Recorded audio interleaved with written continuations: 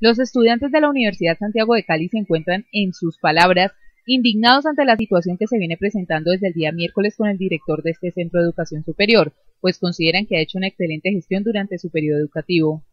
No, pues a mí me parece un atrevimiento total anticonstitucional porque aquí nadie le ha dicho a él de que,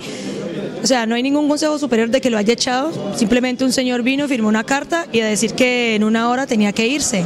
y eso me parece pues muy mal hecho porque aparte de todo nosotros como estudiantes tenemos que elegir a quién nos quiera representar aquí en la universidad, no que lo impongan sin saber quién es, ni siquiera el nombre, y aparte que dejen a toda la gente aquí sin, sin trabajo, con las puertas cerradas, que no nos dejen entrar por la mañana. Esto es un atropello muy grande que se está haciendo hacia la comunidad en general, porque aquí no solamente están destituyendo y pasando por encima de,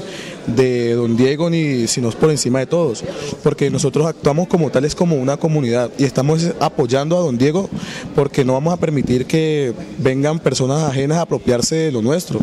Algunos estudiantes se vieron perjudicados con el cierre temporal de la universidad, pues tenía que presentar habilitaciones y se retrasaron en el proceso. A mí me parece que aunque yo llevo en primer semestre, a mí me parece que es excelente. ¿Por qué?